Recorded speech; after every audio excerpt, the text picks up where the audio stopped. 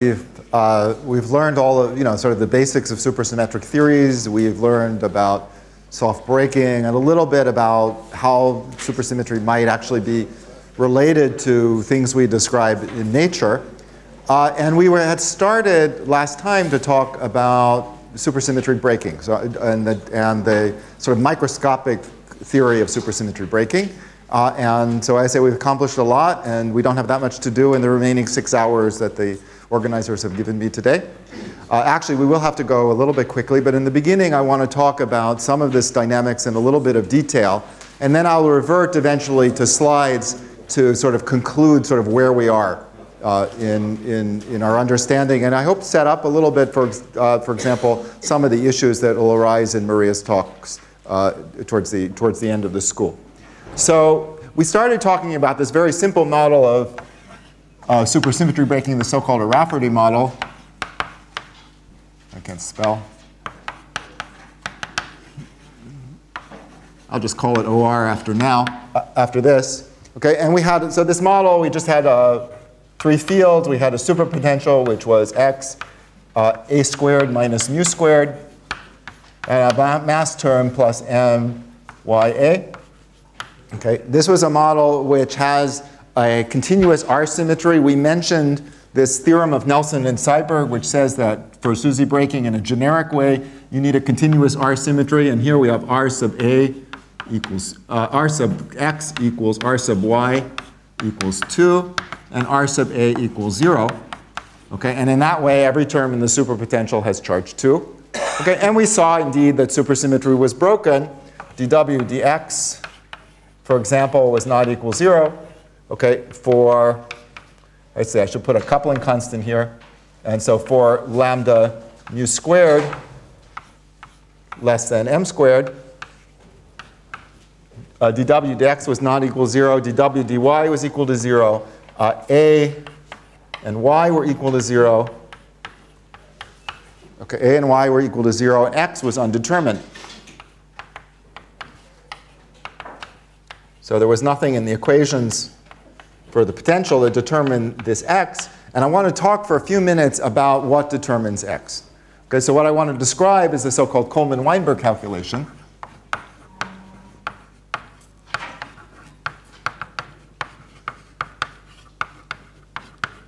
Okay, so what we have here is a situation where classically we have a, a modulus. Okay, classically, you know, as in uh, Nikita's lectures, we have a modulus. Quantum mechanically, though, because supersymmetry is broken, there's nothing that protects the potential of that modulus. And, pardon me, and so uh, there will in general be some v of x. And the way we can calculate that is we can just think about looking at a vacuum with a non-zero x. And in a vacuum with non-zero x,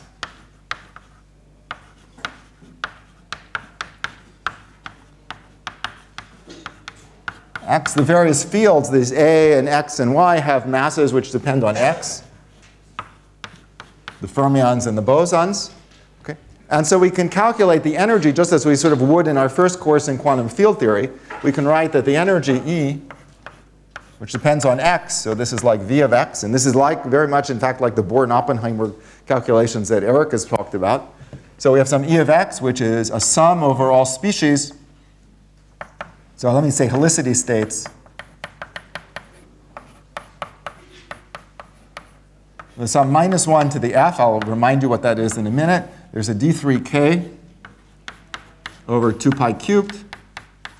And we're just summing over the zero point energy, so we have a half square root of k squared plus m i squared of x. Okay, okay so that's the, so that would be the vacuum energy. Okay.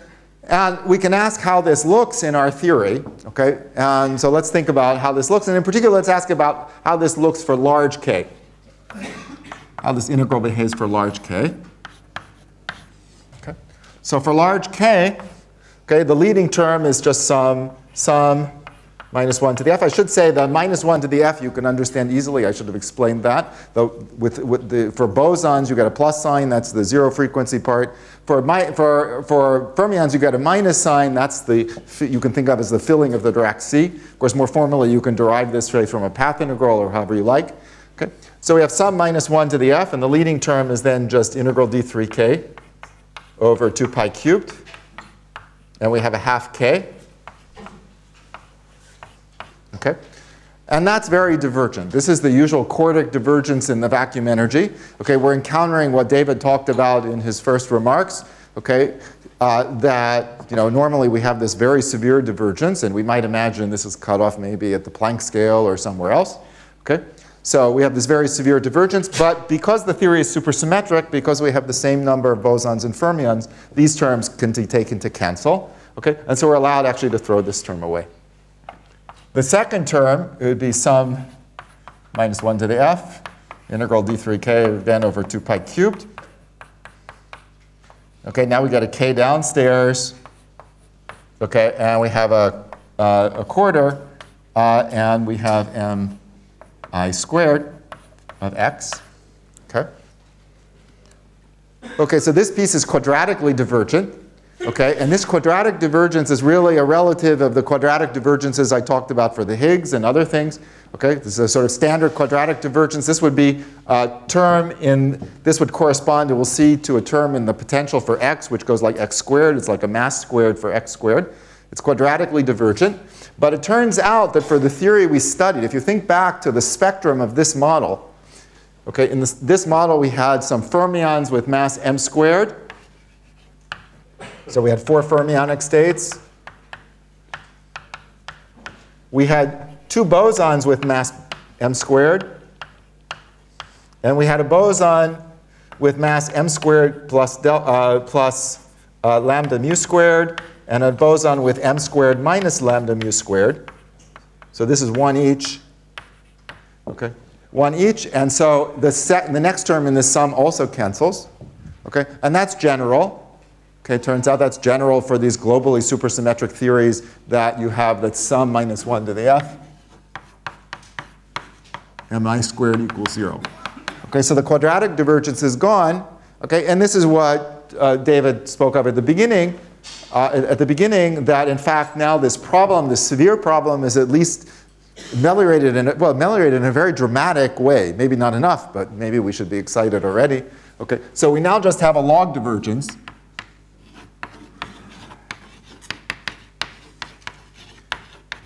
Okay, and you can evaluate this in various ways. You can work out the next term just by hand, or you can actually go back and write this formula and say, well, you can use dimensional regularization. So write this as d3 minus epsilon. I won't do. I won't put the two that uh, Tzvi likes. Okay, uh, and you can just work this out, and you find that in fact this e of x, which I'll call v of x, is sum minus one to the f mi to the fourth at log mi, mi over some cutoff with a coefficient which I believe is 32 pi squared. And this is the and this is the Coleman-Weinberg formula. Okay, so as I said, so uh, it's an exercise I recommend. You need to rec. If you do it the way I've written it here, it's not always the way it's done. You just you need when you do this, you need just to remember that gamma half is square root of pi, and then you can do everything and get that formula. Okay, so uh, all right, so so this so this is this is v of x, and in our case, right away we can see how this is going to behave. Okay, so for large x, okay, the masses of the various fields are all going to grow, right? So if large if x is large, this A will have a very large mass. Okay, y will become light. Okay, but the characteristic mass scale will be x, and you just find that for large x, v of x is proportional to log x squared with a positive coefficient. Okay, you can just work a slightly harder and find and construct the potential for all x, and what you find, let's put it here because I don't like, you can see it. So what you find is the potential looks like this. Here, here is x, here's b. Okay, the, we have some, here's our mu to the fourth here, and the potential looks something like this, growing slowly logarithmically, uh, at, asymptotically, with a minimum at x equals 0. Okay, and in particular, this minimum at x equals 0 means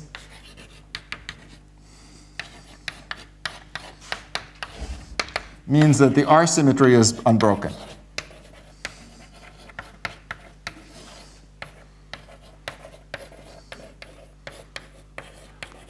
Okay.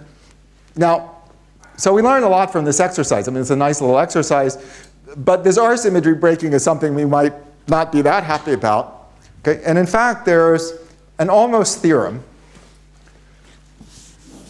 due to David Shih. It says in models like this, if all the if all fields have R charge only 0 or 2, that the R symmetry remains unbroken, that the R symmetry is unbroken at the minimum of the potential. Now, there are loopholes to that, which have been pointed out by El-Shadmi and others recently, but roughly speaking, that holds correctly. But Shih also gave us an, uh, uh, examples of models which do break the R symmetry. Uh, so a simple example has the following structure.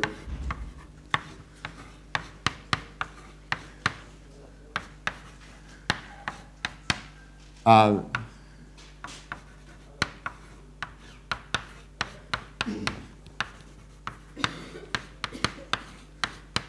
So this is just sort of just to write it down on the board to show you that it exists. Okay, there exist models where in, the subscripts here indicate the R, the R charges of the fields. So you'll notice everything adds up to R charge 2.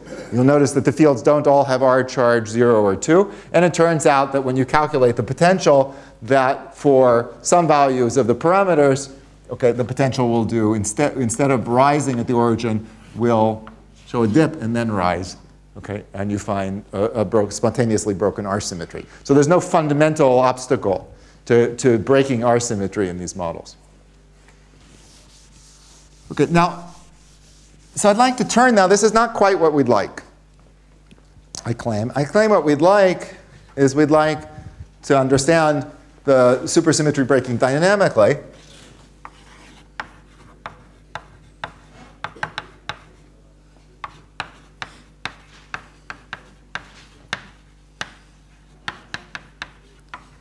Okay, so this goes back, as I said in my first lecture, to implementing these two notions of naturalness. One, this the 't Hooftian notion that there's some small parameter okay, which describe, in which a, in, in, in, limit of which the theory becomes more symmetric, but also this notion that David talked about, which we understand for the proton mass, that you can have that exponentially large hierarchies are, are natural in uh, and we argued that in supersymmetric theories they would be natural, but we'd like to see that phenomenon happen.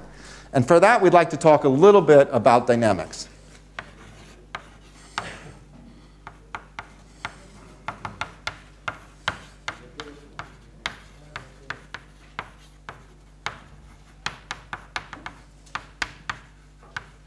So I want to talk about two things. So first of all, I thought one of the, the reason we said that supersymmetric theories are, if you like, prone to, to these sorts of exponential hierarchies. It's the existence of these non-renormalization theorems.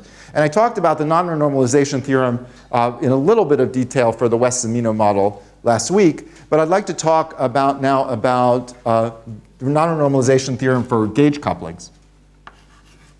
Because it's a little paradoxical. And I'd like to understand that. And it allows us to use some of the machinery you've seen in some of the other lectures. Okay. So what was the point? I think we sort of alluded to this last time. We said that if we look at the action for a supersymmetric non-abelian gauge theory, the Lagrangian includes a term, integral d2 theta, and something I could call tau. I'll put a minus a quarter here. Uh, tau uh, and w alpha squared. Okay, where tau okay, is uh, let me get my, actually, I want to put 32 pi squared, sorry. I'm going to normalize this differently than we've seen in some of the other lectures up to now. It'll just be convenient for this discussion. So I'm going to put a 32 pi squared, and tau is 8 pi squared over g squared plus i theta? And theta, we didn't really talk about this in detail, but if I have this imaginary coupling here, the real part gives the f mu nu squared in the action. Okay? The theta leads to theta f dual. So this is the theta term we're familiar with in non-abelian gauge theories. Okay? And written this way, okay, tau is a complex field. Tau is a complex object.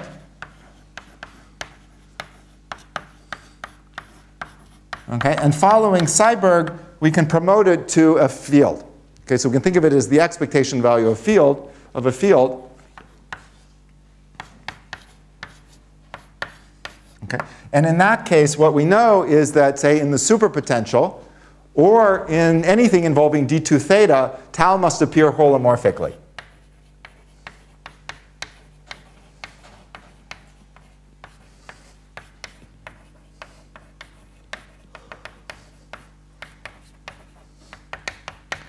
So, okay. So what does that say for the gauge coupling itself? So imagine we're computing some kind of effective action. I'll describe a little bit later what, in a moment what kind of effective, how I might do this. But imagine I'm computing some kind of effective action, and I'm computing the renormalization of W alpha squared, of the W alpha squared term. And so what can appear?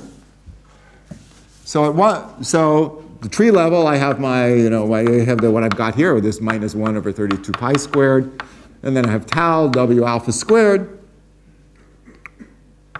Okay. Uh, but uh, in the next order, I have just some constant times W alpha squared. Okay, so that's perfectly fine. That's a holomorphic function of tau. It doesn't disturb anything. Okay, but beyond this, not, there's nothing else I'm allowed to write. So I could try and write something like 1 over tau W alpha squared. Okay, but all those who are, who were here who paid attention to Nikita's lecture certainly know that that can't be. Okay, and why can't that, anyone know why that can't be? What's wrong with that? It has to do with this theta. Okay, so theta, so in perturbation theory, I probably learned this first from David. In perturbation theory, there's a symmetry under which theta goes to theta plus a constant.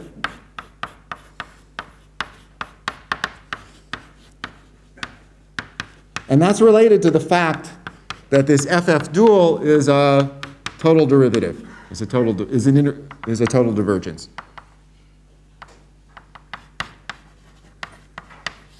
So this is the fact that FF dual is partial mu of some k mu, some object k mu. Okay? So there's no sensitivity in perturbation theory to this quantity theta. Theta can't show up anyway. So because of that, we're not allowed this term. Or anything afterwards. Okay? So I've just proven for you that there's only a one loop renormalization of the coupling constant in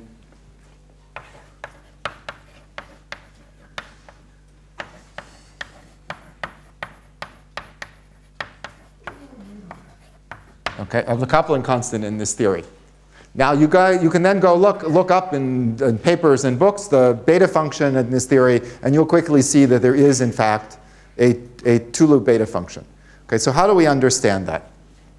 Okay, so let me try and explain in a simple way where that comes from. And this will lead, for example, to a statement about some, exact, some sort of statement about exact behavior of the beta function, but we'll try and understand what.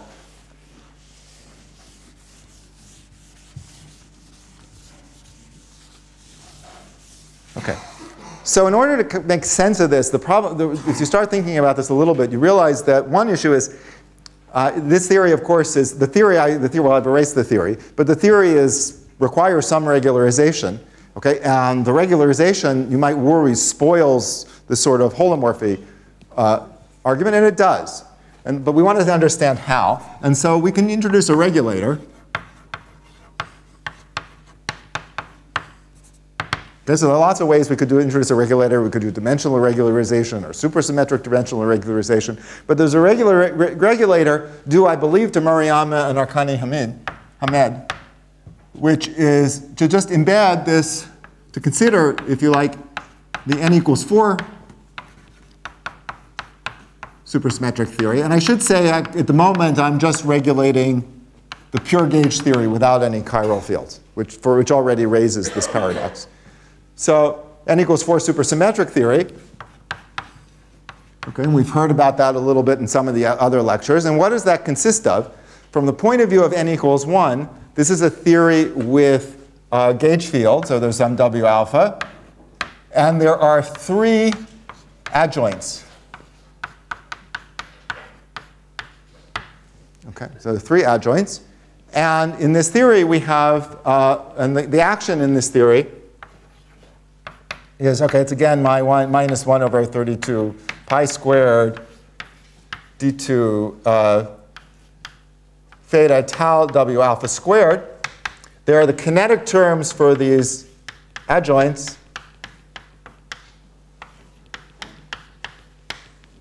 Okay, and there is, uh, and then there's a superpotential for the adjoints. So this is, this I might write, uh, I'm going to put a 1 over g squared here. I'm actually going to drop the tau for now because it just complicates matters. And I'll just put minus 1 over 4g squared. Okay, I have some 1 over g squared in front of, uh, and I'll put a 4 in front of phi f, phi f dagger phi f. And I have a superpotential d2 theta and a 1 over g squared again, uh, and uh, an f a b, uh, that's right, f a b c phi a 1 phi B 2 phi C3. Okay? Now, that theory, you check, has, why, why, do we call it n equals 4? Well, it has four supersymmetries. And a way to understand this is there's an R symmetry. Okay, there's a, well, first of all, there's an R symmetry of the kind, we usually kind we talk about, where these guys have R charge two-thirds. Okay, so this is the U1 R symmetry, but there's really a larger R symmetry here, an SU4 symmetry.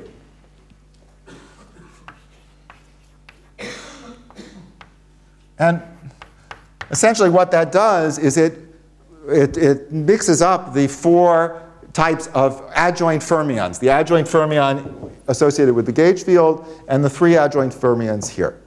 Okay? And written like this, while the n equals 4 supersymmetry is not manifest, the SU4 is almost manifest. And you can certainly see it at the level of the fermion kinetic terms.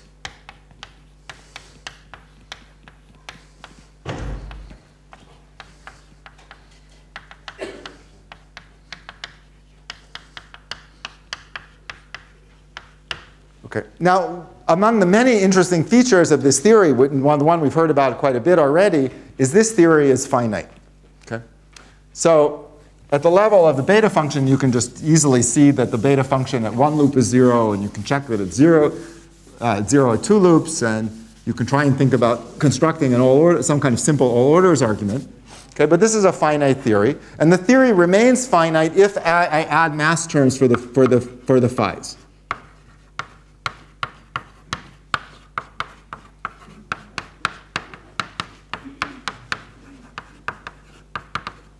No. Okay. So that's a, uh, you know, that, so that in itself is rather remarkable. And the low energy theory is just a pure n equals 1 gauge theory.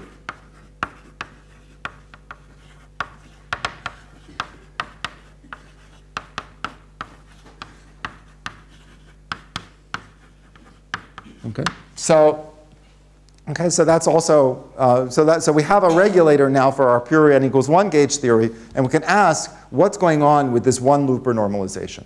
Okay? So we can actually, so if we look back here, if we add these mass terms, okay, what would I do? I'd add the mass terms here maybe.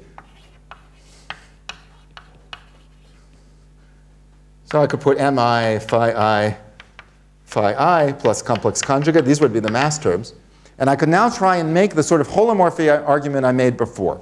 The problem is that the way I've presented the theory, G no longer appears holomorphically. So here I have, I could put my tau back.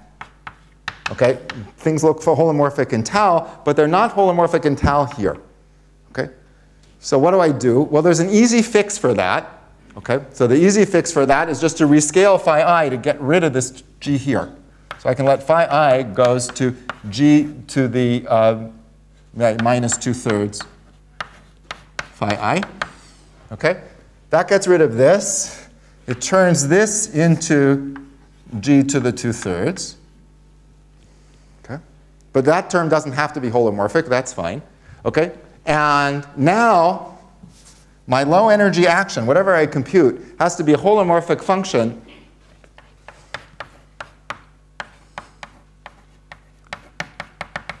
of tau and this m, and I'm going to give this m a label because it's something funny. And I'll just put in one mass, and I'll call it m sub h for holomorphic. So it has to be a holomorphic function of tau and m sub h. Okay? And now the arguments I gave before about renormalization have to be correct. So for example, now I have 8 pi squared over g squared, say, of some m1. This is m1 is now my regulator mass is 8 pi squared over g squared of m2 plus the beta function. The beta function in this theory is 3n for SUN, 3n log of m1 over m2. And I'll put an h here. Okay, and that better be right. Okay, I don't know. I now have a regulator. The expressions are all holomorphic, and that's fine. Okay, and I claim that's the right answer. Okay, what's puzzling What's the puzzle, or what's the resolution of the puzzle? Well, let's look back at MH, and let's look at this funny kinetic term. Okay? So there's a physical mass in this theory. There's a mass of, there's, the, my regulator mass is some number. It's 752 GeV, or whatever it is. Okay? And the, but the physical mass is the mass of this thing.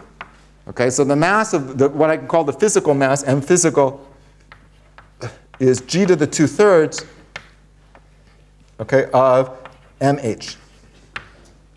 Okay, so I can rewrite, or I can invert that and write mh as g to the minus 2 thirds m physical. And so I can just plug this back in here.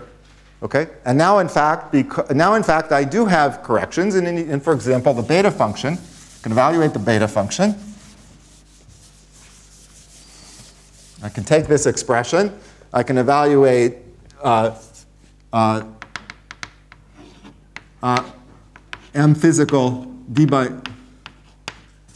d dm physical of g. Okay, that's the beta function. And I'll find, in a way that you can, probably can't read, put it over here.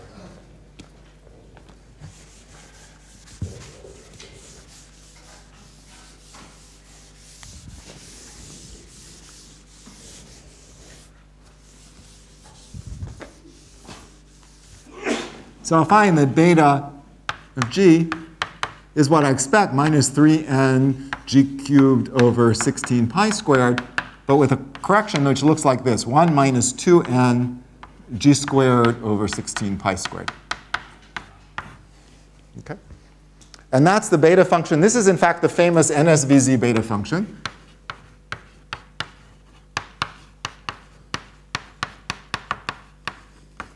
Okay? And for example, you can now check, you can expand this, the, this in powers of g squared and check, uh, if you look it up, you'll find that you get the correct two, uh, the correct two loop beta function. Okay? Now, so at this point we can say, well, what does this mean though? Okay, because someone told you that, that in fact the beta function beyond, beyond two loops is scheme dependent.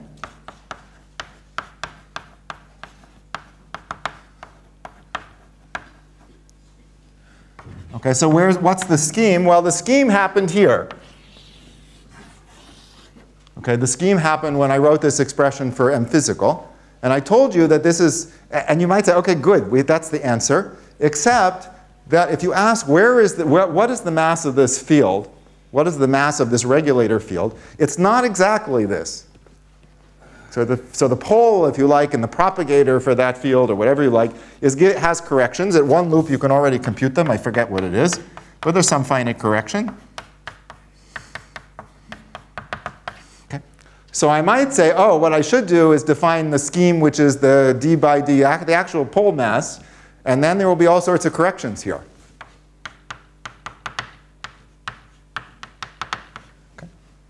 Or you might say, well, maybe I just don't like this scheme, but I just will put some other function of some g squared times some function of g squared. Okay, so done like this, there are, again, as you would expect, a set, an infinite set of schemes. Okay, but we've traced, we've traced this puzzle, okay, of, you know, we, there's no real puzzle with this one loop holomorphic, okay, this one loop renormalization. Okay? And we have a very nice kind of laboratory, if you like, in which to, in which to play with it. Okay, now I don't have time to, I didn't really have time to say that much about this. I don't have time to say more, but I think it's kind of an interesting application of a lot of the things that we've talked about and that other lecturers have talked about here. Okay, so I want to go on and do one last thing. You mentioned the scheme dependence beyond two loops. Maybe you can tell, can you change zeros? Uh, can you change signs? Not, not, not in the range where I trust the expansion. Not the range where I can do the expansion. So you could ask, what's this pole there, for example? And it's not any place that, Uh, you know, it's not any place where you, where you know what you're doing. Okay? Okay. So I want to talk now a little bit more about supersymmetric dynamics.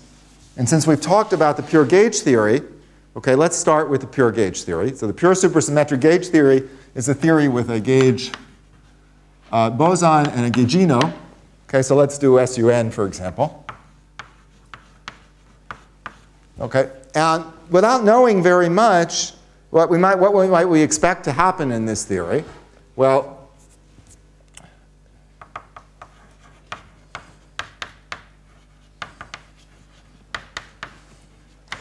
okay, so this is a kind of theory that even before you, anybody talked about supersymmetry, you might have talked about. You might have tried to solve it on the lattice. You might have tried to do various things. And if you were guessing, what you would have guessed by analogy to QCD is, one, that there would exist a mass gap.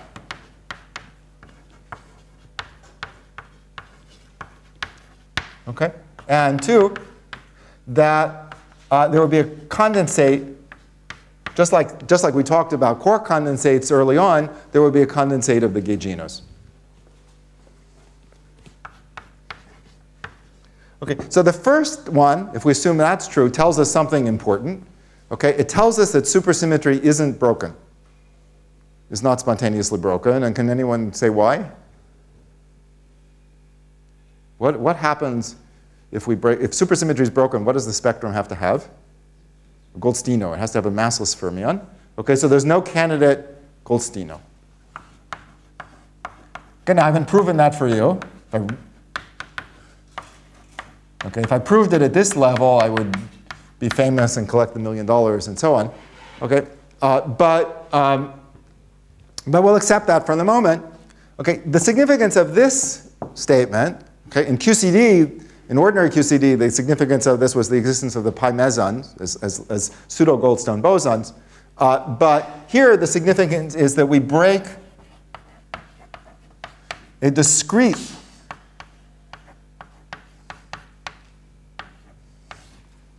symmetry of the model.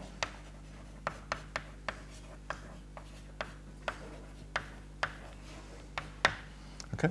So what's that symmetry? Okay, so classically,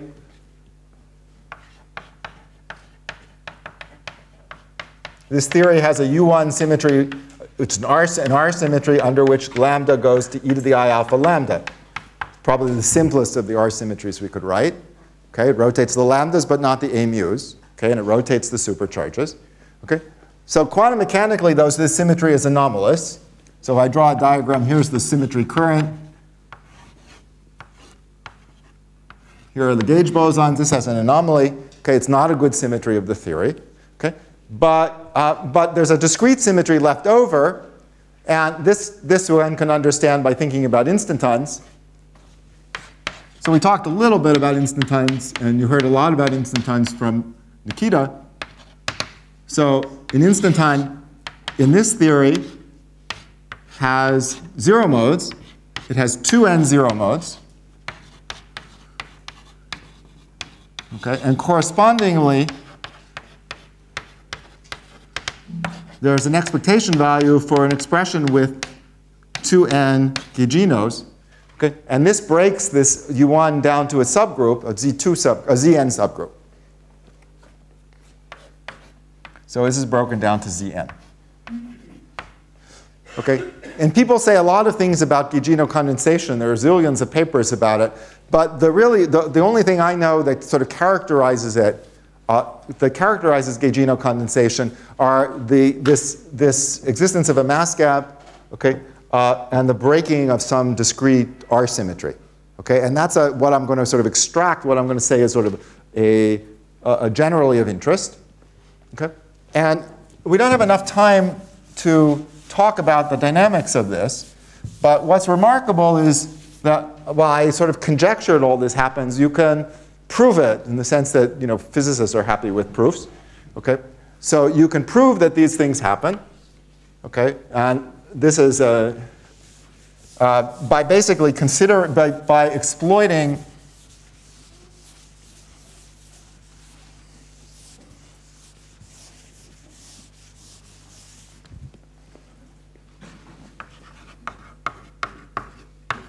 So we can prove gauge condensation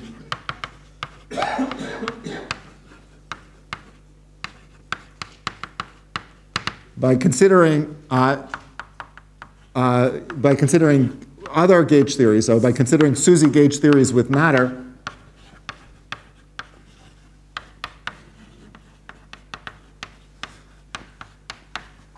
And a little like the spirit of this argument I made with the n equals 4, adding mass terms for some of the matter and exploiting holomorphy. So you can add mass terms, study the theory for small mass, and it turns out in that, in that limit, most of these theories you can understand, and you can even you can calculate, make calculations in a systematic way, and then use holomorphy to extend the result to, to large masses. So, in, so if you like to decouple this matter,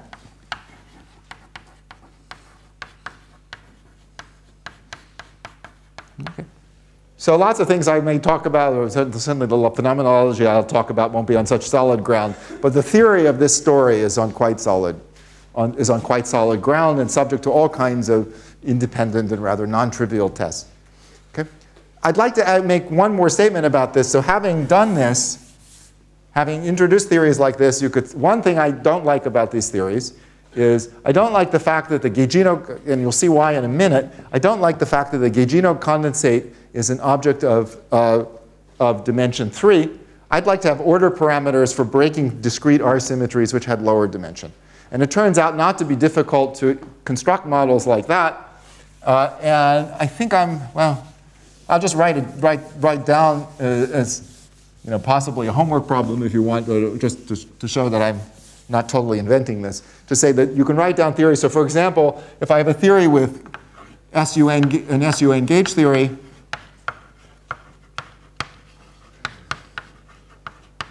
with NF flavors of quark, so NFQ bar and Q, with NF flavors, and a sing coupled to a singlet, so I have W is lambda Q bar Q, uh, S Q bar Q plus some kappa uh, S cubed.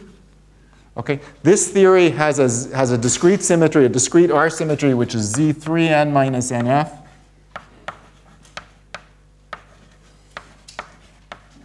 and it's broken, completely broken,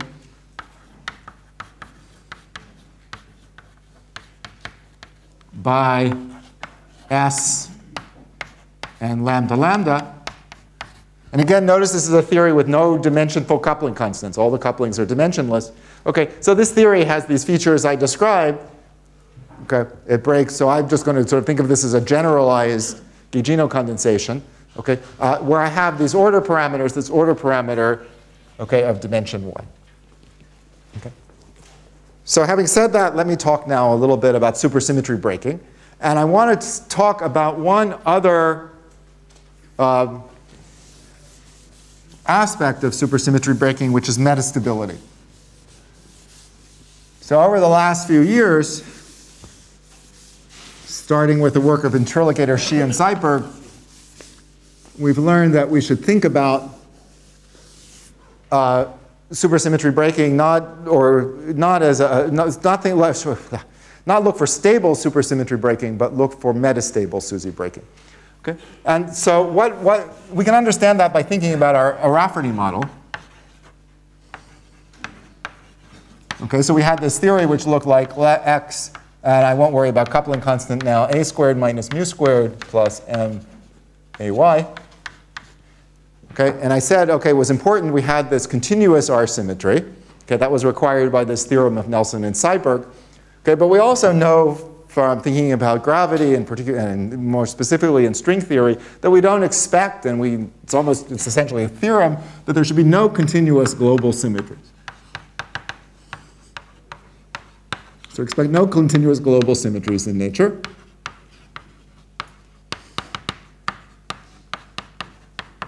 Okay, but certainly in string theory, okay, we encounter discrete symmetries.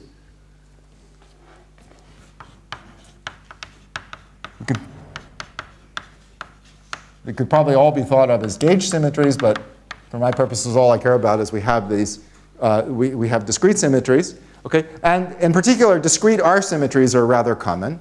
Okay, so what does an R symmetry do, right? An R symmetry is something that rotates a superpotential, right? It rotates things, uh, not the super, it rotates the, well, it does rotate W, but it rotates the supercharges. The supercharges are fermions, okay? And more importantly, what it does is it rotates fermions differently than bosons.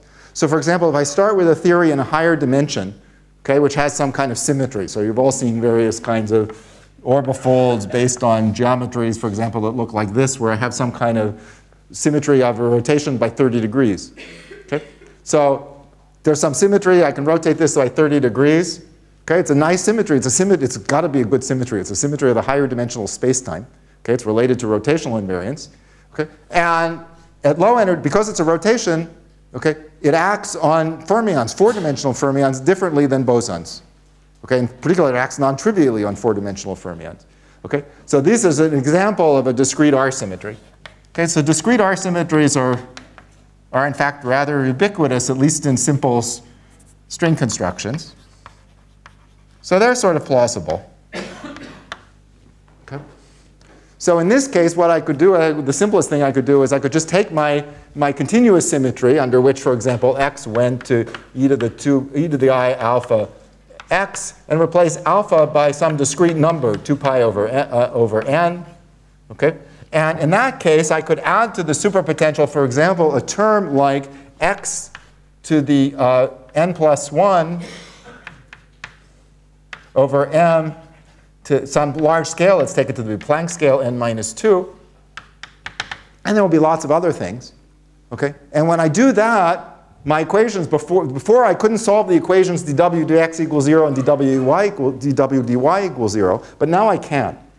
So the equation dw dx equals 0, for example, will have a solution where x to the n uh, is equal to uh, mu squared up to some constant, mu squared mp to the n minus 2. Okay?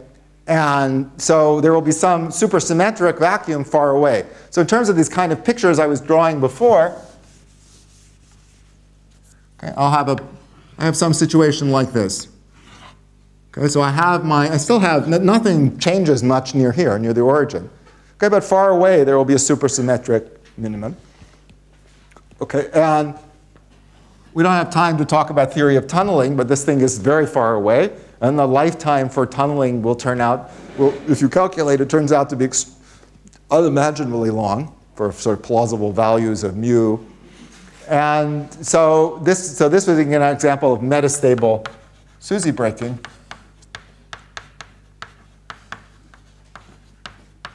if the universe somehow finds itself over here, some point, it's going to sit there for uh, you know, as long as we might care. Okay? And this looks generic. Okay? It looks generic because we don't expect these exact symmetries. And what we have here, in fact, is an approximate symmetry as a consequence of the approximate continuous symmetry as an accidental consequence of this discrete symmetry. Okay? So that's first aspect of supersymmetry breaking. The second aspect is the question of dynamics.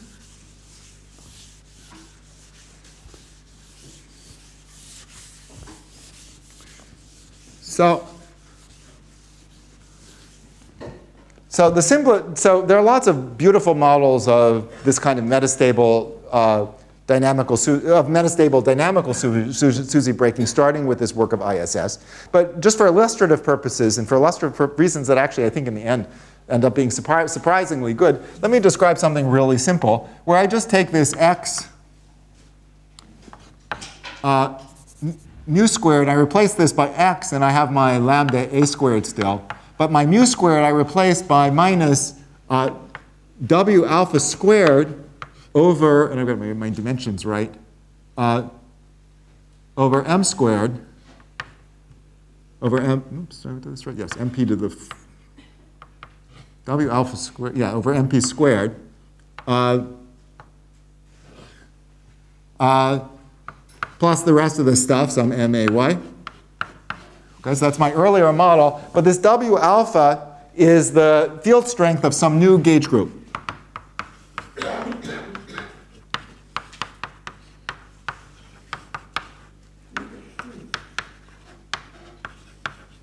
Say some SUN, doesn't really have to be SUN, but let me.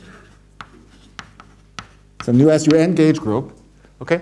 And what do we know? We know that that gauge group, if I'm imagining for the moment I don't have matter there, that gauge group gives rise to an expectation value for lambda lambda or an expectation value of W alpha squared. So this is some capital lambda cubed. Okay, and now I have my earlier model, okay, but I have a lambda cubed, by the way, as I should write, is, you know, is the usual thing. It's maybe mp cubed exponent minus 8 pi squared over b naught. Uh, in fact, I can put n g squared of mp. Okay, so, so I have this kind of dyna dynamical hierarchy like I want.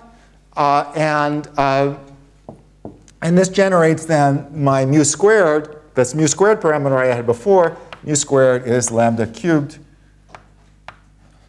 Uh, actually, I've got this wrong. I'm sorry. It's lambda m over mp. Okay? So that's dynamical SUSY breaking. Okay, this is about as simple as it could be.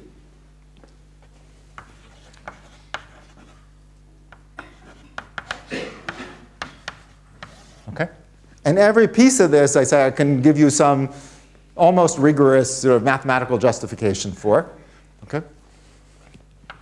Okay. And these models are referred to. This is a term that Eva Silverstein invented as retrofitted models. Okay, and the sort of idea is we took the kind of older O'Raifeartaigh model and we jazzed it up a little bit, and now it works again. Does what we want. Okay, so uh, so this is a very simple illustration of dynamical supersymmetry breaking. Okay, now. So we, kind of, we have almost everything we want. I should say, by the way, once we start doing this, we can do all kinds of things. So we can generate, for example, this mu term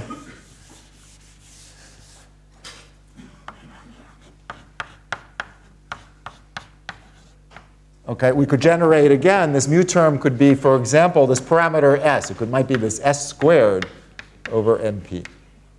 Uh, yes, right? It could be something like that. We can do all kinds of things once we have this. It's a little embarrassing how easy it becomes to try and build models of dynamical SUSY breaking with all kinds of features that you might like. Okay. So, uh, all right, so, uh, okay. I guess that's, yeah, that's good enough. Okay. So we have almost everything we want. I think I now I'd like to talk about models. Let me talk, maybe one more thing I should discuss. Okay, so I've mentioned the cosmological constant already. Okay, and I want to talk about it a little, uh, for a moment in this context, in the context of supersymmetric models.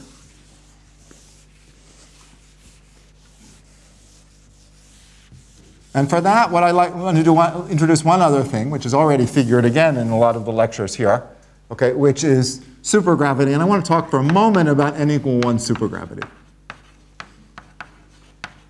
And I just want to note a couple of features. So obviously, I'm not going to derive for you the, the, the, supersymmetric, the general supersymmetric Lagrangian, but I do want to say it's characterized by a few things. It's the input for the, for the general n equals 1 supergravity Lagrangian is a superpotential, some holomorphic function of chiral fields, a Kähler potential, which generalizes the kinetic terms we've been talking about, okay, which is some gauge invariant function of the, so it involves also these e to the v's, which I'm suppressing, some gauge invariant function of the chiral fields, which is not holomorphic, and also some function fa of phi, a chiral field, again, a, a a holomorphic function of the fields, which multiplies the various, uh, the various uh, gauge, gauge fields, which defines the normalization, if you like, of their kinetic terms.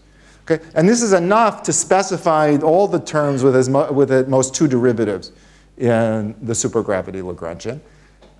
Given that, there are a couple of things. First of all, I can tell you what the, potential, what, the, what the potential looks like. The scalar potential is a little more complicated, in fact, a lot more complicated than the, uh, than the one we've been writing up to now. It's some e to the k, I could put e to the k over np squared, but I won't remember where to put all the np's. Okay? And then it involves partial w partial phi i plus dk d phi i w. This thing is called the Kähler derivative.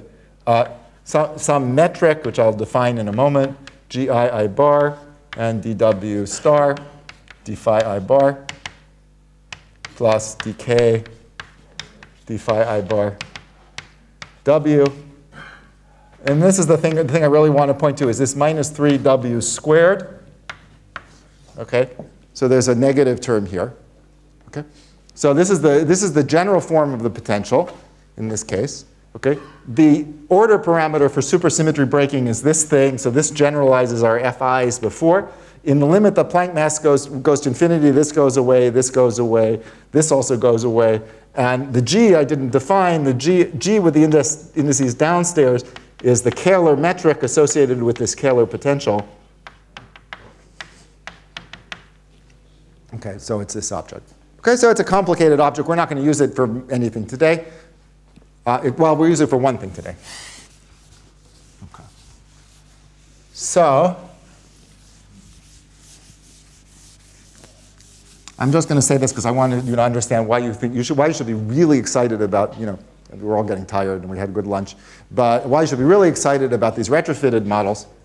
Okay? So let me talk about a couple of things. If SUSY is broken, Okay, because this is a local symmetry, we no longer have a massless Goldstino. We have uh, instead a fermion uh, uh, gravitino, gravitino, and its mass m3 halves is e to the k over 2.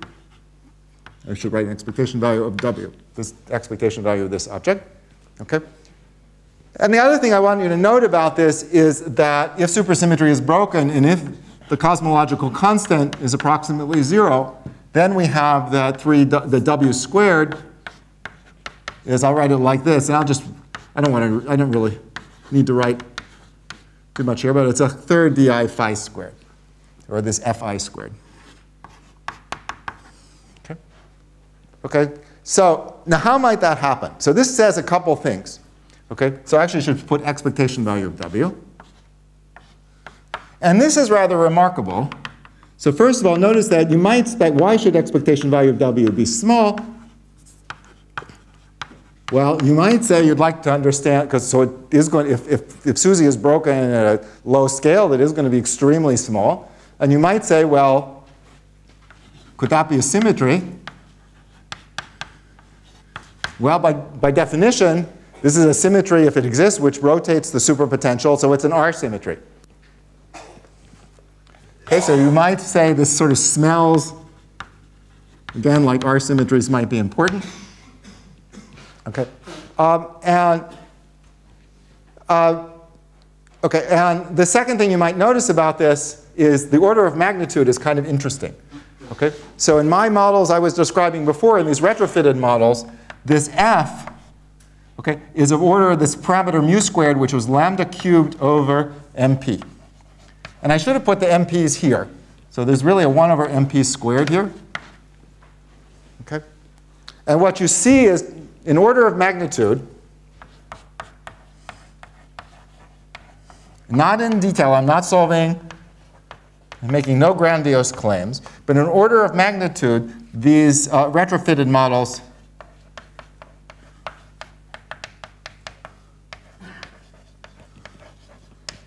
predict a W, or an expectation value of W.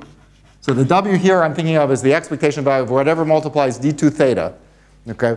An expectation value of W of the right order to cancel the CC.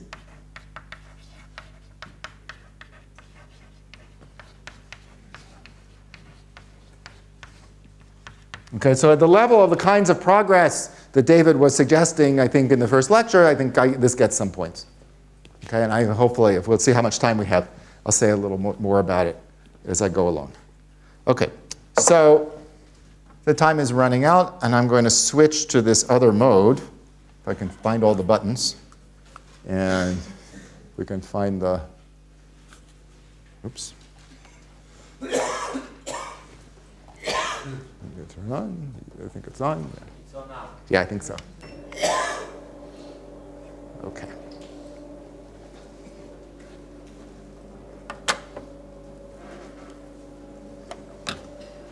Let's see. So could we just lower the lights? Thank you. That's great. Yeah, that, we don't we don't need quite that. A, a little light on the blackboard would be just a little light up there. You know, it's little that. I think well maybe. Yeah, I think that's all right. I think that's all right. Oops. Yes. Thanks. Good. Okay. So what I'd like to do now, okay, is I'd like to talk a little bit. See, don't worry, we only had 64 slides to go. I, uh, I'd like to talk a little bit. I'm, I'm, I'm, joking. We've covered a lot of the other material.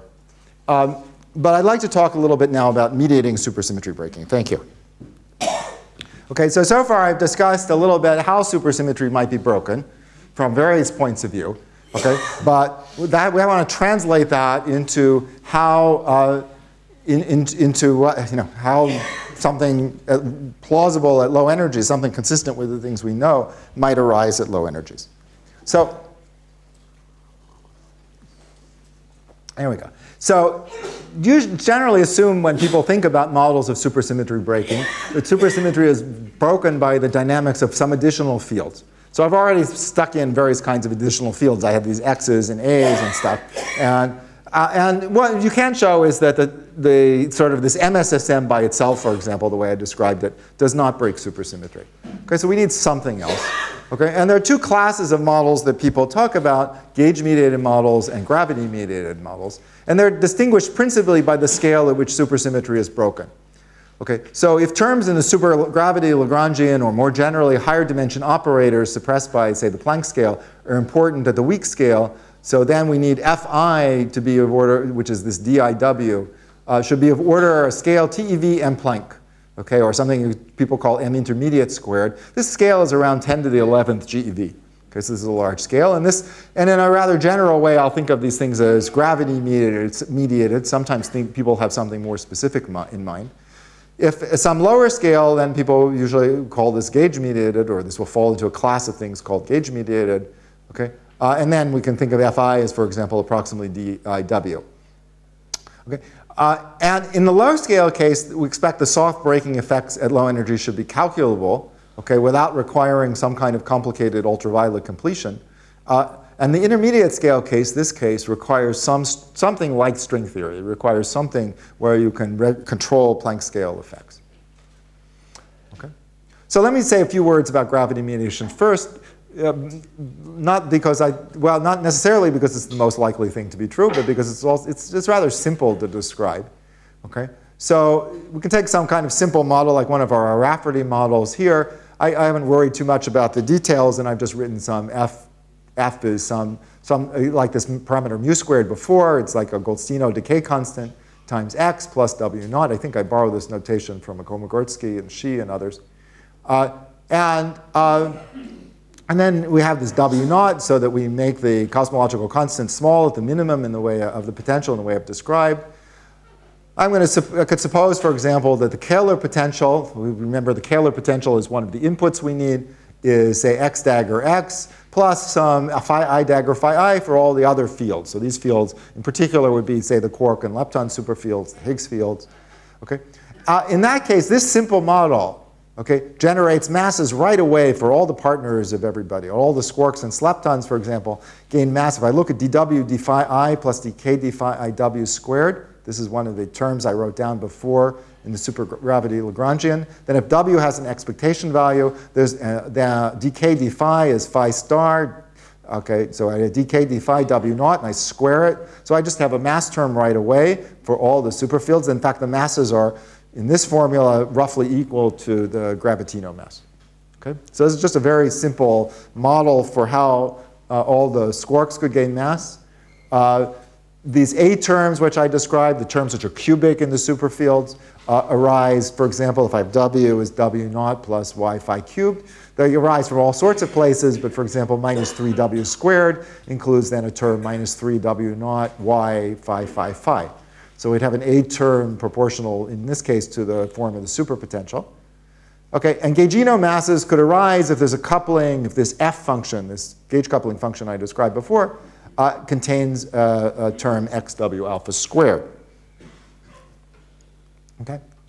So in fact, people, by taking this kind of simple model, uh, have for years studied something called M-SUGRA. Okay, this is a model with three parameters, uh, m naught squared, m1 half, and a, okay, which I've written here.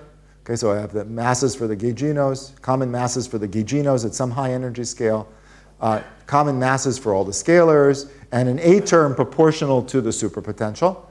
Okay, uh, and, uh, and, and one can then make a model like this. One, as I say, one takes this as the form at some high energy scale, and one then evolves it down to low energies.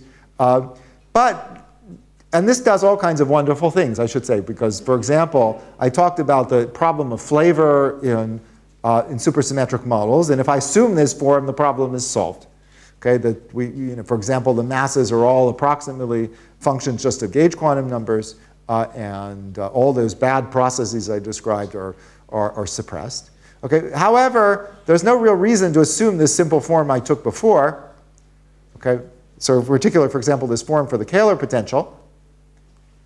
Okay? So if I just complicate the Kähler potential a little bit, and I've added various kinds of stuff here, okay, uh, then this generates this full set of soft breaking parameters I chose before. So I said we can have 105 parameters. I haven't counted the parameters here, but you can easily check that I could fill out that whole parameter space okay, by choosing the, these gammas and a's. So all the problems are here unless you give me some explanation why these gamma, these, these, these gammas at some energy scale are small. And I don't want to claim that you couldn't. Okay, the, the obvious thing to think about is maybe there is some kind of approximate flavor symmetry which suppresses these terms. I'm not going to offer any theory of that now. Okay, but just to, this is just a little quick tour of what these theories are about. And you're going to hear, again for Maria, various constraints on models of this type. You'll hear something, a, sort of generalization of this called the constrained MSSM or the CMSSM. You'll hear about various versions of this. But this is sort of what, one of the things that sort of motivates that kind of construction, this sort of, this sort of model based on supergravity. Okay, there are other issues to worry about. Uh, Gravitino overproduction, problems associated with moduli, these also arise in gauge mediation, which I'll describe uh, shortly. Okay? So now I want to turn to this other possibility of this, this process of, of gauge mediation. Okay, and the main premise here is that in the limit that the, uh, that the gauge couplings vanish, the hidden and visible sectors decouple. And as a simple model, the simple model of this is called minimal gauge mediation. I suppose I have some field x. This is like this x I encountered before which has a scale, an expectation value for its scalar and f component. And x is coupled to a vector-like set of fields, say transforming as a 5 and a 5 bar of SU5. So that means a lepton doublet L and an anti-doublet L bar, and similarly triplet Q and Q bar. Okay, and I put some coupling constants in here. And in that case, with this assumption, very, various things happen. So what's going to happen here? Remember, x has an f component. So because x has an f component, well, let's suppose x didn't have an f component. Let me start like that. If x didn't have an f component, this little x would give rise to supersymmetric masses for all these fields. This f component splits them. Okay? And so now, and because they carry gauge quantum numbers, uh, eventually the ordinary quarks and leptons can learn about them. So for example, gauginos, the gluino, for example, can couple to one of these quarks and its squark partner. And I can close this diagram up like this. Okay, I use the fact that... Uh, probably not because, can people see it all? No, probably should turn on the light then. We haven't quite found the right balance here. Can we have the light for just a moment? Can we have the light for just, a, yeah. Or, okay. Yeah, it's, yeah, I guess it's totally invisible. Thank you. Okay. I would put it over here where the blackboard shows a little better. We don't need that much. So I, anyway, in my graph, I have a gaugino comes in, emits one of these Qs, and its partner, its scalar partner. I can close this diagram up. If you want to work out the details, I can close it up by an insertion of F here and an insertion of X over here. Okay? And that gives rise to a gaugino mass. Okay, and that gaugino mass, in fact, it's a really easy calculation to do, goes like alpha over pi, alpha i over pi for whatever gaugino I have, uh, and then it goes like f over x. And interestingly, in this simple model, the lambdas, these, these little lambdas cancel out. Okay? Yeah, actually, it's, yeah, this maybe should work. Okay? And similarly, squarks and sleptons can gain mass. So for example, a squark can come in, an ordinary squark. Let's put q twiddle so we just know we're not talking about these guys.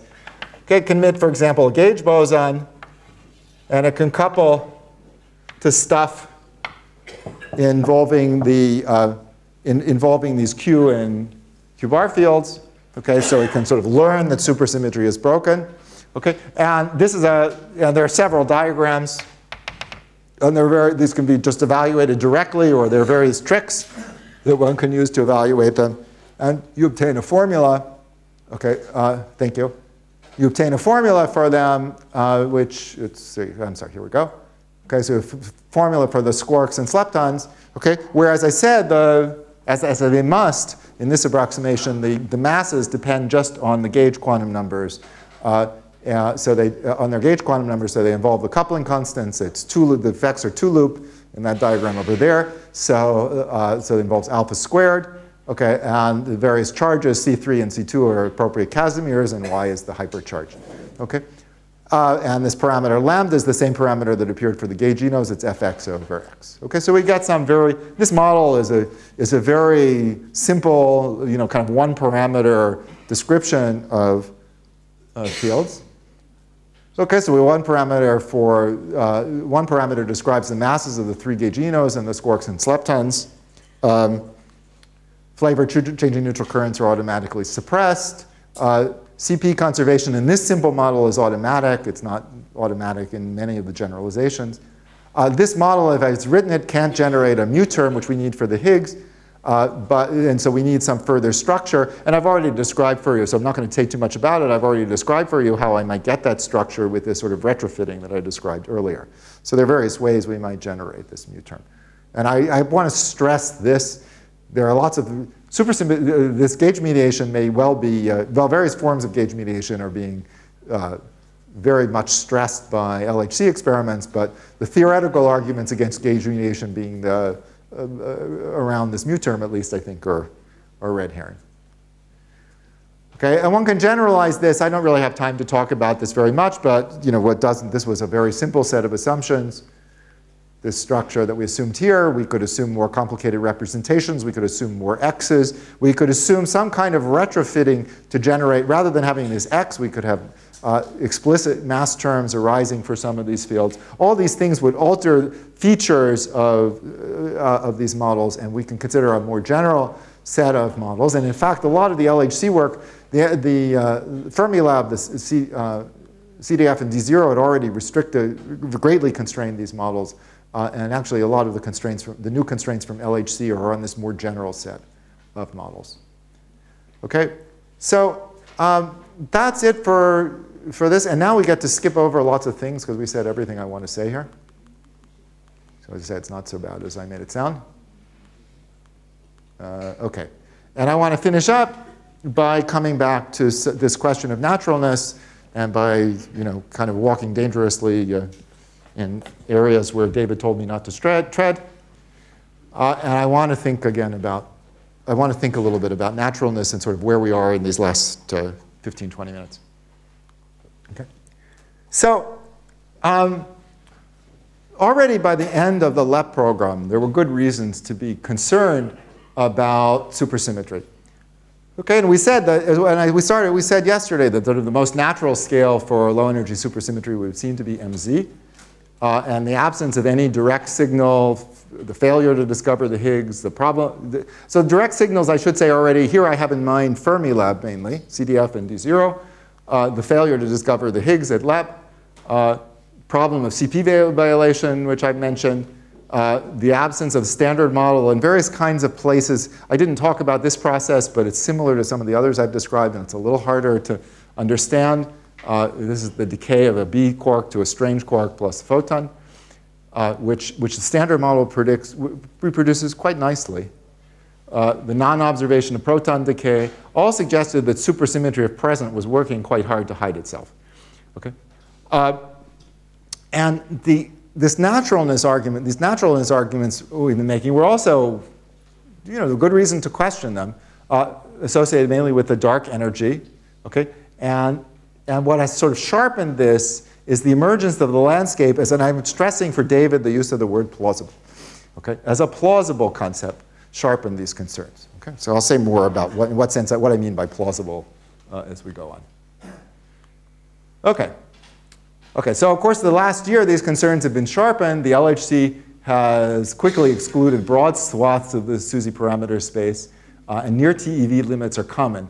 And Michael Peskin made a remark at the, in Mumbai last summer, already looking at the early data, uh, saying that no reasonable person could view the, su the supersymmetry exclusions without concluding that we need to change our perspective.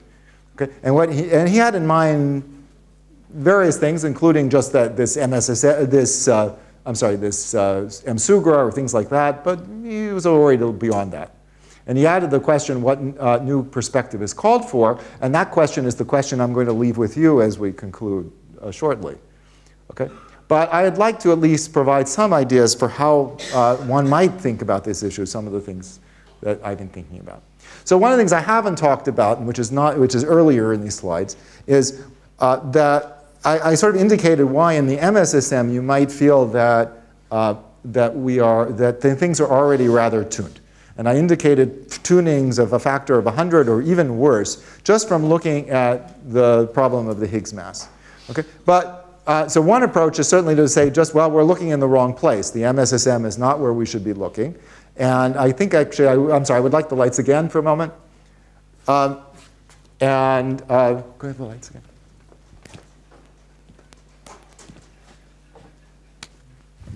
So, so just let me mention two things. I stressed when we did our, when we talked about the Higgs mass uh, yesterday, uh, Friday, I stressed that, the, uh, that what, what's important, what's leading to all these problems, is that the quartic coupling of the Higgs in the MSSM is very small. It's this g squared plus g prime squared over 8. Okay? And we could try and fix that by adding a singlet to the model or something else. We could add something else to the model. So something, one thing you might try and do is add SHUHD. Okay, so that's a singlet with some coupling lambda and then dw ds squared right, is lambda squared hu hd squared. Okay, so this is a new quartic coupling, a new contribution to the quartic coupling. Okay, and, uh, and what I want to advertise here, okay, so all, mostly we're running advertisements in these last few minutes, is that, okay, people have studied this model in the past and had and, and it doesn't improve things that much. Okay, but when they do this, what they usually do, what they did in the past is they wanted to say the expectation value of s should explain, so lambda times the expectation of s would be mu, and they were interested in this in an explanation, as an explanation of this parameter mu. And I said, I don't care about that. Uh, and in particular, so they didn't want to add mu, and they didn't want to add a mass term for s, but I have this retrofitting tool now. I can add masses, I can add mu, I don't care. Okay, so I think one should study this model in a more general space. And there already is some work in this direction.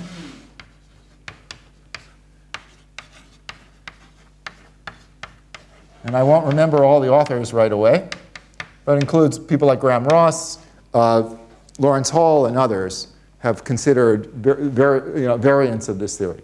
So this is one direction you might, in, in, in, in the area of sort of saving general naturalness. Uh, that's one. Another,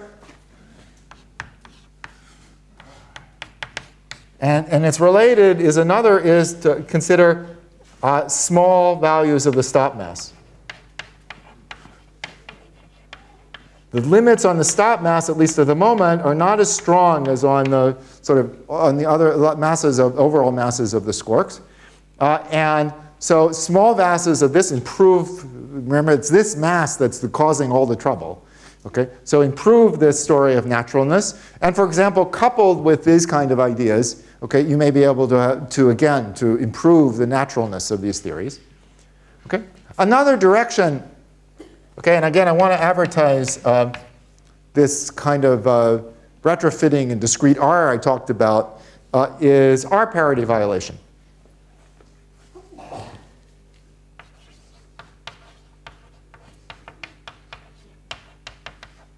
Okay, so I used to not like R parity violation, partly because I was lazy and partly because the idea of uh, R parity as an origin of dark matter was an attractive one. But in the things I've described, okay, I've talked to you about how, well, you know, we might well expect discrete R symmetries in order, because of nothing else, because of the cosmological constant, perhaps to, in order to satisfy this Nelson-Seiberg criteria. So we might expect such things. And discrete, and R parity can also protect the proton, okay? But we also know it has to be violated. Okay, we know because the cosmological constant, um, not R parity, R symmetries have to be violated. Uh, so if they protect the proton mass, they can only protect the uh, proton lifetime. Okay? They can only protect it so well. Okay, but things can also be naturally small. Okay, this parameter, the parameter is in some sense, you know, well, it might be this W. It might be W over over mp cubed. Okay, it might be something else. It might be these objects S. Yeah, keep trying this blackboard. Uh, but anyway, we have a variety of parameters that might break, account for the smallness of R parity violation. And with R parity violation, the limits on, again, the limits on superparticle masses are much weaker in general. Now, of course, there are other limits. Okay, there are two processes you have to worry about. You have to worry well, there are many processes involved. There are proton decay, there are things like neutron antineutron oscillations, there are uh, what people call dibaryon decay, in which two protons collide and make a pair of K mesons, for example. So there are a variety of, uh, of constraints, but it doesn't look that hard to satisfy them. Okay, and so this is again another area. So I, before giving up on supersymmetry in a sort of traditionally, in a traditional natural way, I want to stress that there, you know, that there are things to explore. Can we have the lights down again? Thank you. Okay. All right. Okay. So I want to sort of end up by saying, well, for naturalness, there are sort of three logical possibilities. I'm going to say what I'm saying is kind of trivial here. But one is that conventional notions are correct. Okay? Uh, conventional notions of naturalness within some class of models, say of the kind I started to describe, the weak scale arises without appreciable fine-tuning of parameters. Maybe we'll yet find that. Okay? Another is there is just some modest level of fine-tuning. Right? And why not? Okay? And I'll actually make an argument in a minute why I might even expect such a thing. Okay, so maybe we'll discover or just fail to discover supersymmetry, more or less in some form like we imagined, with a fine tuning of, say, a part in a thousand. Part in a thousand is kind of just on the edge of what we might be able to hope to do. Okay? Now, the problem, of course, is when you admit this, you have to decide what you think is a reasonable amount. Okay? Okay, and a sort of worst case is there's lots of tuning, uh, and what we're going to see now over these next few years is a relatively light Higgs, and nothing else, or at least nothing else related to understanding this question of the origin of electroweak symmetry breaking. Okay, so what is the naturalness? Why should we believe in it? Or really could say, why should we doubt? Okay, well, there are at least some hierarchies in nature, and maybe people would want to add things to the list for which we have symmetry or dynamical explanations. Okay, well, there's m proton over m Planck, which I didn't put in here. Uh, the weak Planck scale hierarchy, uh, notice I said we don't, uh, I said possible symmetries, we don't necessarily understand them this way. Uh, there's the weak Planck scale hierarchy, which was supersymmetry or technicolor, something like that. Yukawa, hierarchies, which we often imagine arise either through some dynamics or through approximate flavor symmetries. But there are hierarchies for which we don't really have much, much by way of good ideas. So there's the cosmological constant, which we've talked about, and which I kind of illustrated for you on the board here. Okay, this is a part in 10 to the 120, or even with supersymmetry, it's at least a part in 10 to something like 68. Okay? There's inflation. Okay? So inflation, as far, well, you know, I, sometimes people yell at me when I say this, but I think it's pretty fair to say that almost every, essentially all inflationary models are tuned at least at the level of the part in 100, at least in the part level of sort of the no, one over the number of e-foldings. Okay? Uh, a, a, more hypothetical one is, uh, is theta QCD. Okay? uh, which maybe we can explain with an axion, for example. But then we'd have some other hierarchy, okay, some hierarchy of the axion decay constant over the Planck scale. Okay, and another one is uh, the dark matter. So for example, suppose the axion is the dark matter, okay, or maybe with some, maybe in some new light state tuned for thermal production. So these are things which we, a whole set of things for which we maybe or maybe don't have good ideas. Now, all of these problems are ameliorated with supersymmetry, by supersymmetry, and some can be solved by supersymmetry. Uh, these first two, uh, to my knowledge, uh, uh, are not. Not, they may be improved. In fact, they're both, they're both significantly improved by supersymmetry, okay, but not solved. Okay? So logically, we have to acknowledge, even before proposing an underlying explanation for these puzzles, that imposing notions of naturalness, we are on somewhat shaky ground. Okay? We, do, we don't know if, our ideas, if these ideas should work everywhere. Now, supersymmetry, of course, as we said from the beginning, has other attractive features, unification and dark matter. And I will try and convince you that there are even some others. Okay. Uh, in any case, this notion of naturalness is not particularly sharp. Kind of like, you know, we say, okay, if the problem is a part in 10 to the 32, well, that looks pretty bad. But where, where do we stop? Okay. Why, though, really, at some level, the question is, why should the underlying theory be natural? And I went back and thinking about these issues and looked at like what people said in old papers, and I couldn't really find a sharp idea. And I should say that when I first heard about this whole question of fine tuning, I thought the problem was there was this being, what we were worried about is there was some being upstairs with a long beard or something, and we didn't want that being to have to work too hard to get the universe to come out right. I mean, you know, I'm not quite sure. There's something troublesome here, but exactly what it is is, is hard to make sharp. And because of that, exactly what the criterion is, exactly how much tuning might appear reasonable, uh, is also a question. So things should somehow be typical, we think, but typical of what? Okay. So I want to end up by speaking of this landscape as a setting in which to think about these questions. Okay? So the landscape, in some sense, has been the Damocles sword hanging over our heads. Uh, it is, for better or worse, the most compelling explanation we have for the observed dark energy. And unfortunately, I don't have time to go through the explanation. I, uh, David certainly alluded to it in his opening remarks, and I'm happy in questions or something to talk about it a little bit. Okay. Now, there is some evidence, and it's pretty meager, for such the existence of, thing, of such a thing in string theory, but at least it's plausible Okay? I don't think we would take it all that seriously were it not for this question of the cosmological constant. what I want to do for the rest of these remarks is though without worrying about, I'm going to sort of assume it exists. I'm not going to worry too much about how it comes about. Uh, I'm not going to worry too much about how we get from one state in this landscape to another. Uh, I will worry a little bit about it. Okay? But what I'm going to take as the lesson of the landscape, the notion that there exists this vast number of vacuum states where, which sort of scan possible values, well, scan all kinds of things, numbers of degrees of freedom, symmetries, numbers of dimensions, uh, parameters, and so on. Uh, and that somehow the laws of nature we observe are selected from some large ensemble of possibilities. Uh, now, the probability distribution uh, depends on all, all, kinds of things which we don't know. Underlying microphysics, almost certainly cosmology, and other known features. I'll mention a couple things that are kind of simple to think about, but we certainly can't derive, and I don't know that we can hope to derive uh, uh so, uh, uh, the underlying, some underlying distribution. Okay.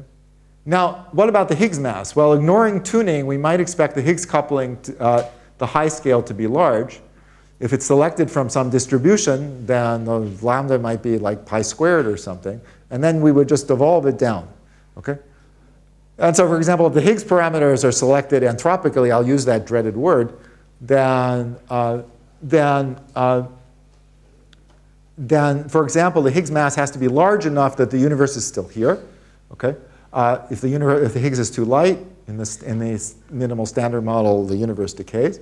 And this actually leaves an interesting band, which I find really dis rather discouraging. Okay, so this is from a plot to, to John Ellis. You can't see it that well, I apologize. Uh, but this is sort of the high scale coupling, things like pi or 2 pi.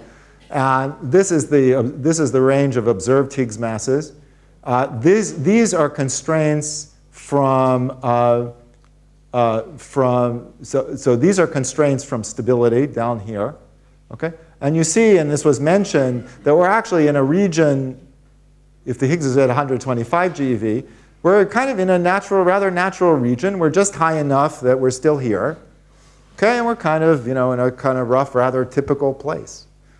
Okay, so um, you know, maybe you'll say, well, maybe it should be at the high end. Maybe that's evidence, some evidence, but it's kind of troubling that we're, you know, it's not. We wouldn't expect it to be lighter, and we wouldn't expect it to be too much larger than we're seeing. Okay, so it's a, so it's, I say it's a little bit troubling. But let me now think to say a little bit, what, what, what would it mean? What, what, I want to describe a notion of model building which makes this kind of notion of naturalness sharp. Okay, so I want to speak of a model. So, so now this is model in the most pejorative sense.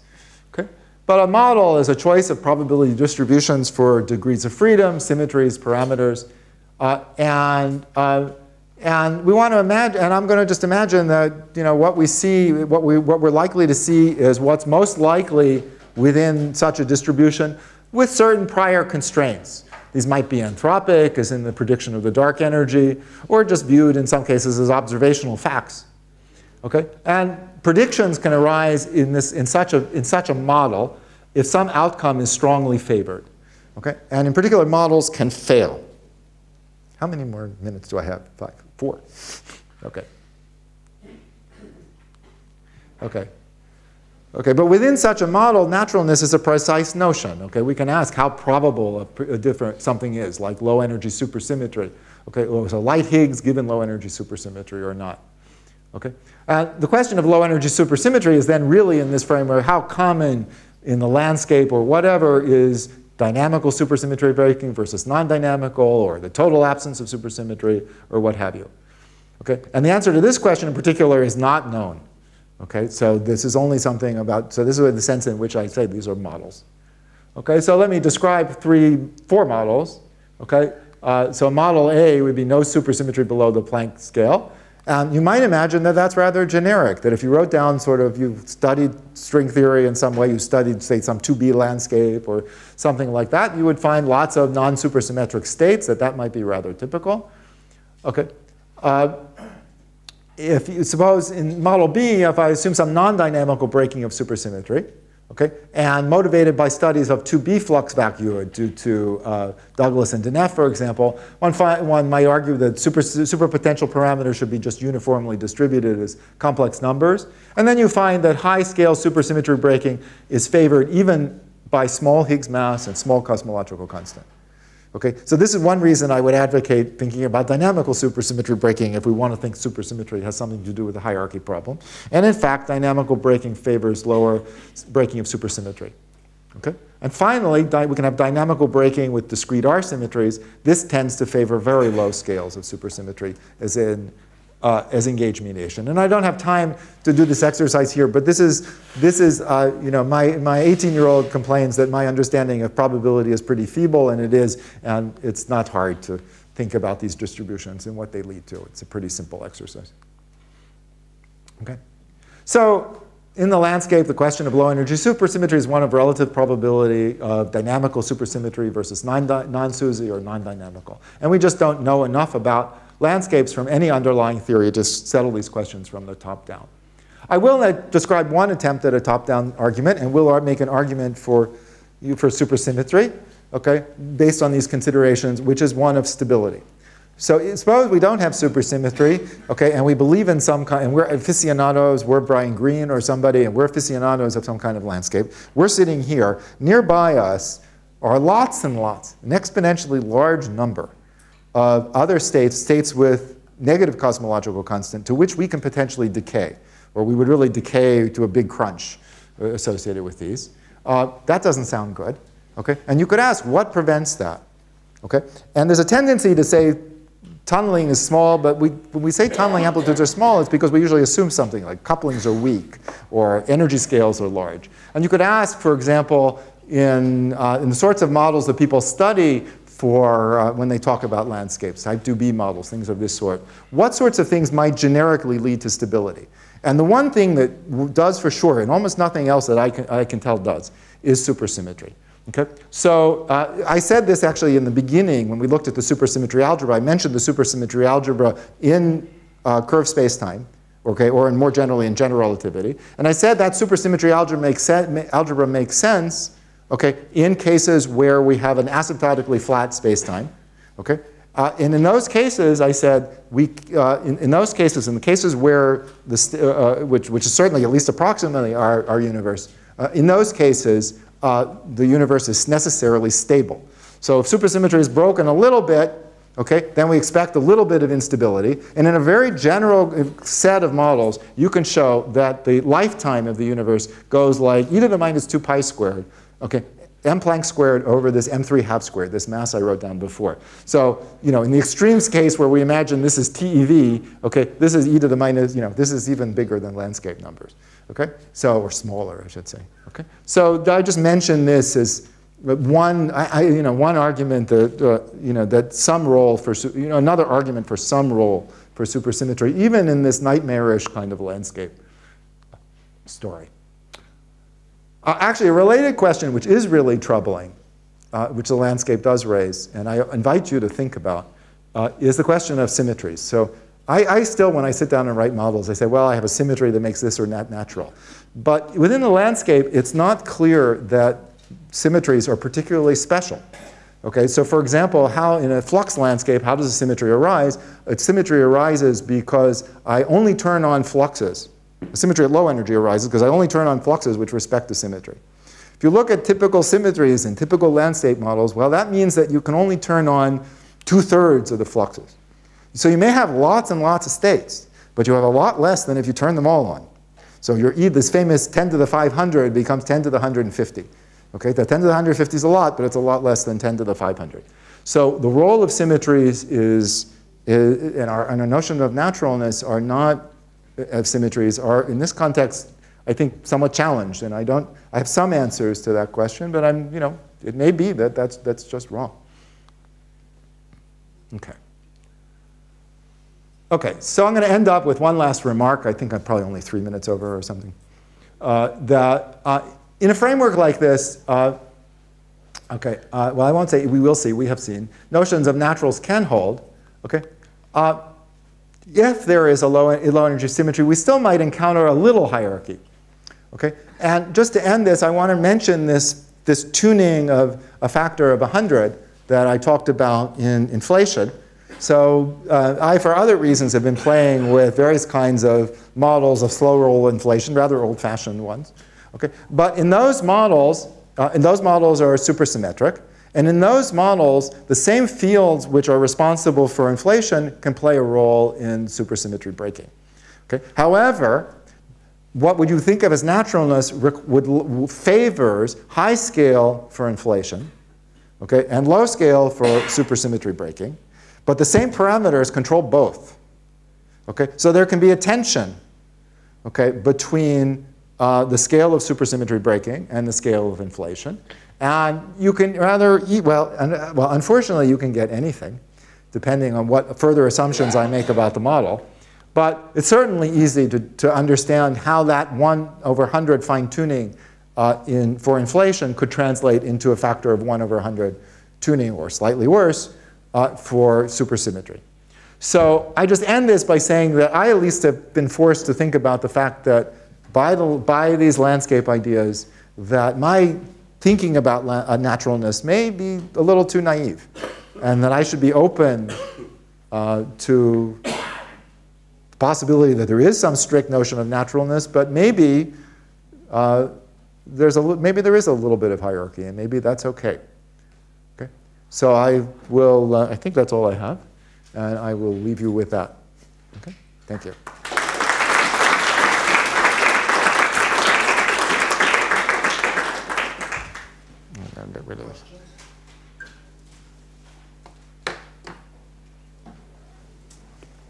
I didn't offend David sufficiently. In that case, let's thank Michael for all this uh, set of lectures. Thank Good. Good.